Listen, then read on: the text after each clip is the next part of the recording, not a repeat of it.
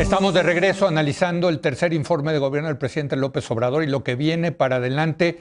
Eh, Valeria, decíamos, yo, yo estoy convencido que este presidente tiene cuerda para rato. Eh, estamos en el tercer año, hombre, aunque sea como tú digas el miércoles. Pero hombre, yo veo las, las encuestas y qué increíble la popularidad del presidente a pesar de todos los malos resultados de gobierno, de lo que ha pasado, de la peor crisis económica desde eh, la Gran Depresión de los años 30. Eh, a pesar de todo eso, el presidente se mantiene en 60% de aprobación. Es impresionante y yo creo que un presidente del liderazgo y de la popularidad de López Obrador todavía tiene margen para hacer muchas cosas, Valeria. Bueno, yo creo que ha tenido margen para hacer muchísimas cosas, no solo ahorita, sino desde que empezó, ¿no? El capital político con el que inició el presidente, pues la verdad es que ya lo hubieran querido otros presidentes para un domingo. Ese capital político se podría haber utilizado al principio de la administración para reformas verdaderamente complicadas o verdaderamente interesantes que pudieran cambiar al país, como la famosísima reforma fiscal. Y puede ser, puede hablarse de una reforma fiscal, desde luego, desde el lado del ingreso, pero también una desde el lado del gasto, que creo que es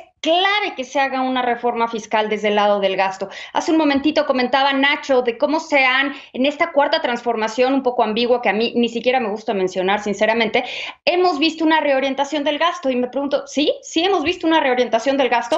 Porque lo que hemos visto es, pues no tanto, no tanto, Leo, no creas que se ha incrementado sustantivamente el monto a programas sociales porque han disminuido, han desaparecido un montón de programas sociales. Esta reorientación del gasto, entre comillas, ha sido dirigir el gasto algunos tres, cuatro proyectos específicos del presidente, pero en todo lo demás es un gasto completa y absolutamente inercial. Le ha quitado recursos a algunas áreas para pasárselos a estas cosas, a refinería, al aeropuerto, al tren, pero no hemos visto una reasignación seria del gasto. ¿Dónde está esa reingeniería que íbamos a hacer en el sector salud? El sector salud sigue desmoronándose. El INSABI es prácticamente algo que no existe. Es una cosa muy extraña donde ni siquiera sabemos qué atribuciones tiene ni qué reglas de operación, si es que tiene reglas de operación. Entonces, no estamos viendo una consolidación fiscal, desde nuevo, desde la parte de ingresos y de la parte de gasto, que sería, hubiera sido interesante verla. Ahora, más allá de lo que nosotros consideremos que podría hacer el presidente, lo que es más importante es lo que él cree que puede hacer.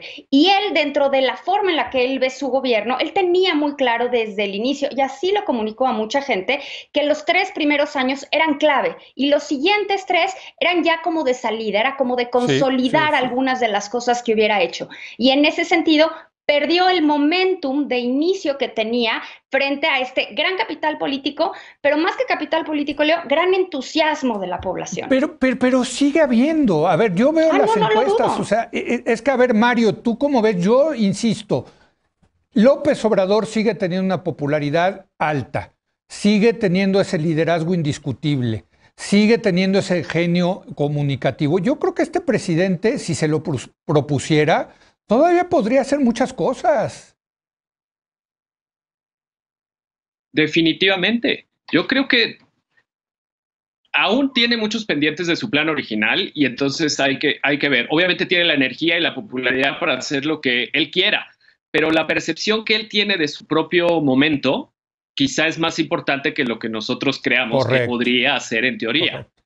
Eh, él está un poco amarrado por las ideas que tiene del mundo, pero también por el proyecto al que ya se abocó y le puso energía y ahora tiene que concluir, no puede cambiar de rumbo tan fácilmente. Ya hay una inercia administrativa de cambios de presupuesto, cierre de fideicomisos, planeación estratégica, eh, que no, no, es tan fácil ya cambiar a estas alturas, Leo. Entonces las posibilidades ya no están tan abiertas como al comienzo. Eso es una realidad estructural.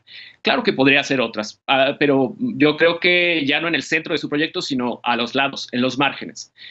Pero el otro lado, el de su percepción de su propio momento, es el que yo creo que lo tiene un poquito conservador. O sea, tú me dices, eh, parecía al final, también podría ser, Leo, y esta es otra hipótesis alternativa a ese tono de final, que más bien parece que sintió la necesidad de transmitir una imagen de estabilidad.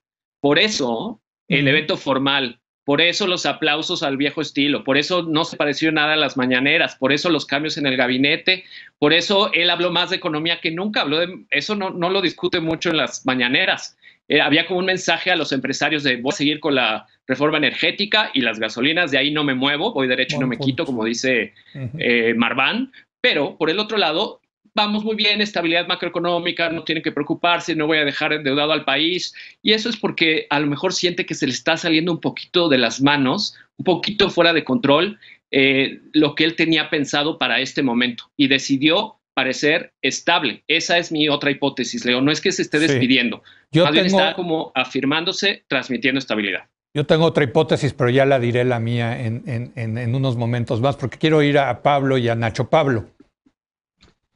Bueno, Leo, eh, además es que hay, que recordar, hay que añadir o insistir que si empieza una nueva legislatura donde no tiene mayoría ya calificada, no va a haber o, no necesariamente hay por mandato eh, reformas constitucionales. Eh, necesita 56 legisladores de oposición. Ni siquiera tiene la absoluta, tiene que negociar con sus propios aliados. Así que a mí me parece que sí, ya es un presidente eh, con mucho menos poder. Y aprovecho eso para decir que no me parece un despropósito analizar a esa luz lo de la sucesión. Entiendo muy bien que es un deporte nacional y una herencia de nuestra cultura política prista, pero en este caso me parece que sí viene a cuento, porque primero que nada es muy anticipada y segunda, sí está ocurriendo al interior del régimen. Es decir, no son especulaciones hay encontronazos en serio, hay choques de grupos que ya están viendo quién se va a quedar con la silla eh, y e, eso ya, eh, digamos que habla de un síntoma de la pérdida de poder presidencial. Em, además, combinado con ciertos arrebatos, Leo, que ya no pude mencionar en mi participación pasada, como el de Chiapas de la semana pasada, además de ciertos signos de ingobernabilidad, ¿no? Las eh, descontentos sociales en Zacatecas, en Tamaulipas, en Chiapas. Eh, entonces a mí me parece que eh, aquí el gran peligro, y por eso es que hay que platicarlo, es que un presidente que se sienta aislado o que, se, que no confíe demasiado en los cercanos, que se empiece a hacer de nuevas personalidades, corre el riesgo de radicalizarse. Ahí hay grupos ya cercanos, como el grupo Tabasco, ciertos nacionalistas, los famosos bolivarianos, que están muy cerquita y que pueden llevar al gobierno hacia un destino que nadie conoce. Muy bien. Entonces a mí me, parece que hay que anticiparlo.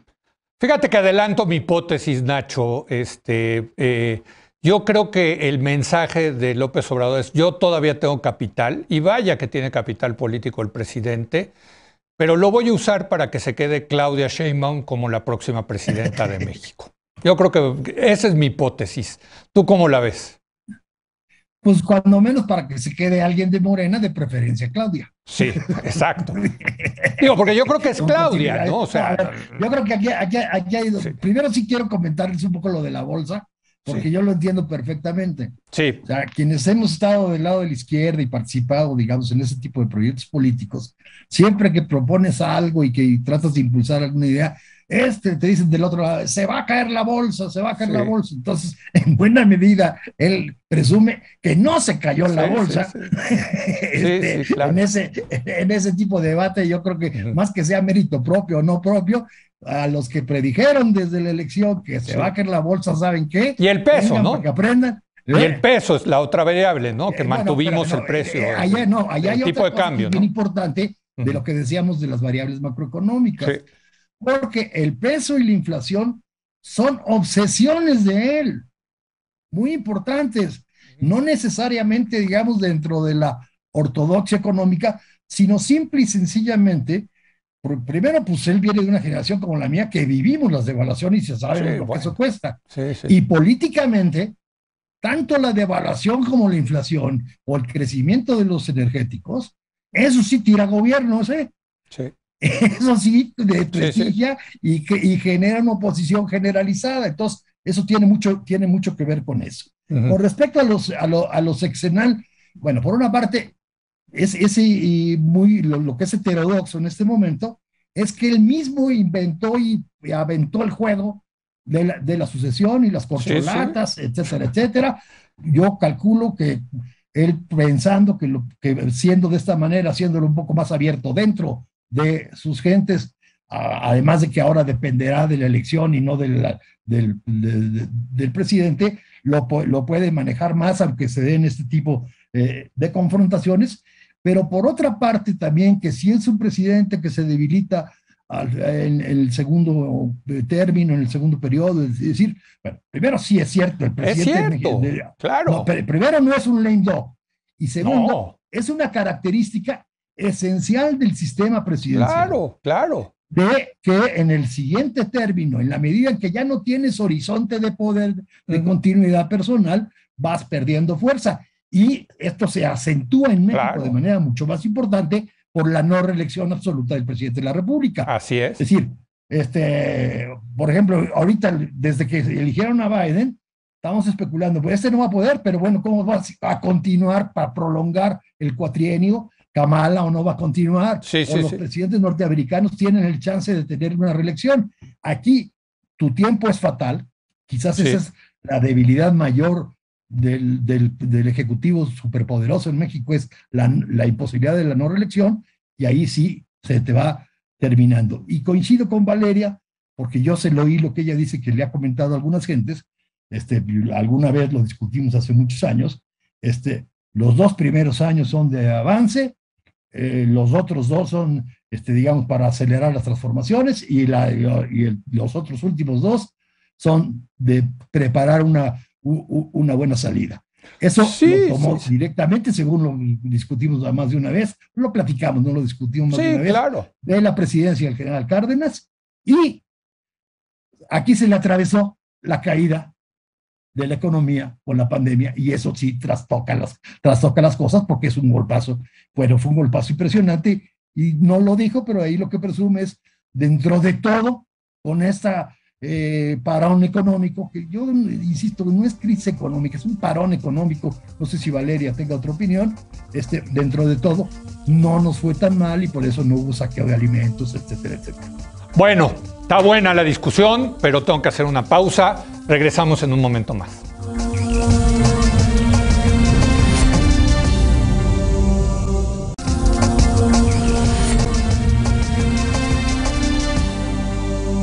Bueno, está buena esta mesa de análisis sobre el tercer informe de gobierno, lo que viene para el presidente López Obrador. Insisto, hay que ver también las encuestas. el presidente sigue teniendo una base de apoyo popular real que no cambia. 60% de aprobación, muy, muy interesante. Oigan, pues me queda tiempo para una última ronda y pues ahora sí que lo que se les quedó en el tintero a cada uno de ustedes ¿Qué es lo que quieren decir? Mario, comenzamos contigo. Ok, bueno, primero cierro diciendo que entiendo a Nacho, entiendo a Nacho cuando dice que desde la izquierda es siempre importante dejar claro que no se cayó la bolsa, como todo mundo vaticinaba de los adversarios neoliberales. Entiendo el punto. Ahora, yo soy de los que hubiera pensado que este el momento keynesiano, el neo-keynesiano, más Estado, más gasto para que el choque económico eh, y, que el rebote fuera eh, menos doloroso para los de abajo, más justo y más rápido. Eh, entonces yo creo en el momento que iniciaron. Entonces no deja de sorprenderme, pues que haya tenido este discurso de no se cayó el peso, no se cayó la bolsa, no se endeudó más, la inflación no subió, que es muy neoclásico. Ahora, lo entiendo, justo Oye, por pero lo que está el trauma histórico. Si alguna Perdón, Mario, yo está bien, yo se lo aplaudo, pues qué bueno. A ver, ¿cuál es el, ¿Cuál es la, alternativa? Se devaluó el peso, hay, hay, inflación, la bolsa está peor que nunca. No, pues es que, eh, vaya, la alternativa es, terrible.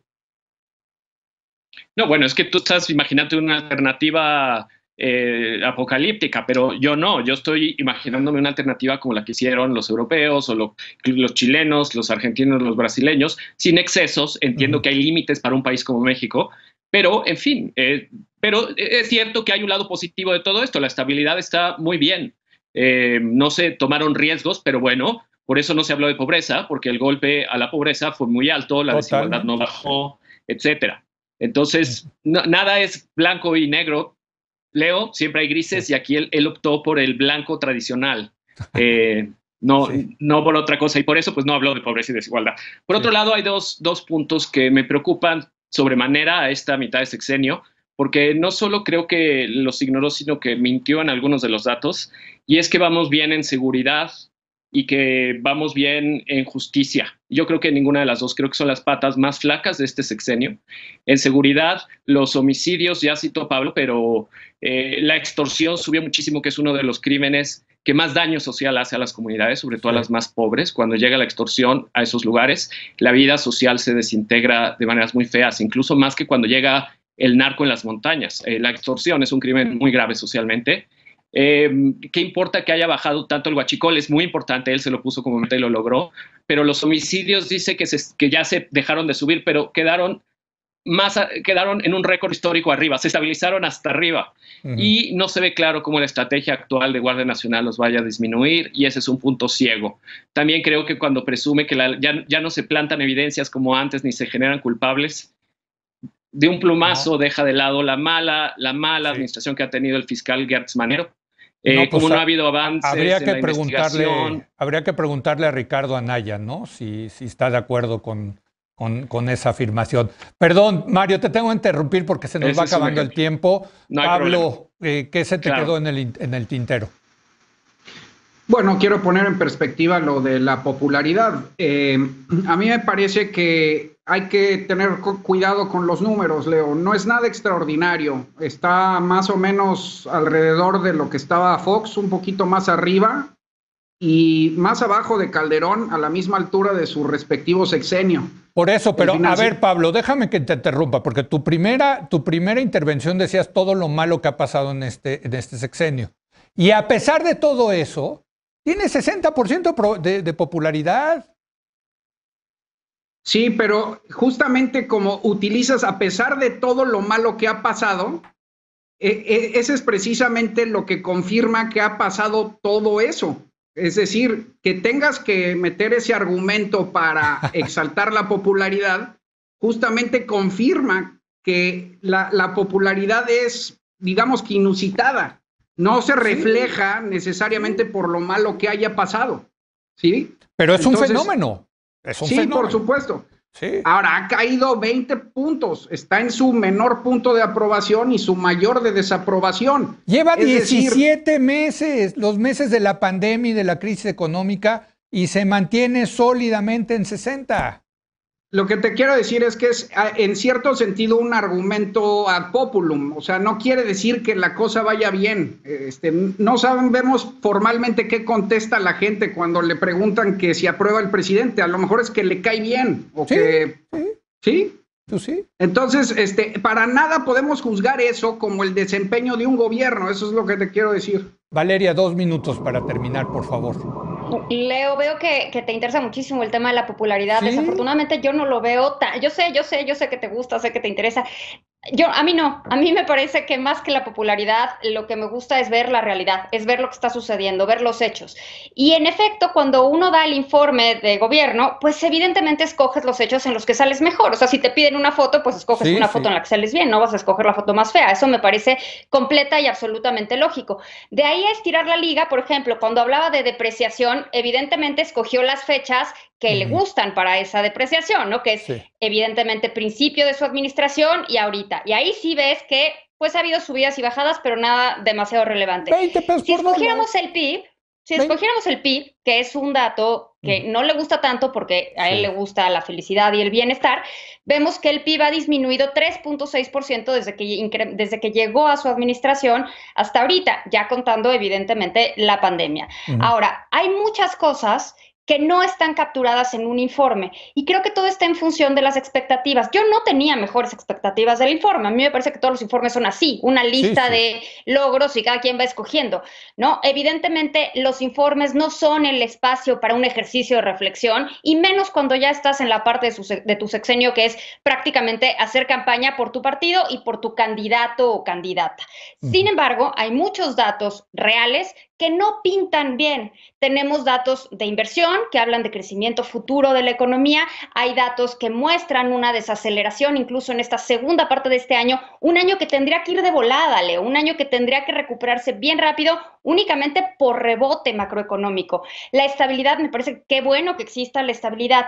No me sorprende lo que dijo hoy el presidente, es normal que quieras dar todos tus logros, pero evidentemente es una visión incompleta de la realidad, muy incompleta de lo que está sucediendo, y yo creo que así lo estamos viviendo muchos mexicanos. Nacho, un último comentario, un par de minutos. A ver, este, Jorge, nos, nos referimos fundamentalmente, bueno, primero, este, quiero compartir con, con, todos ustedes y con los, ah, que están viendo, no es casual que a Leo le, le, encante lo de la aprobación.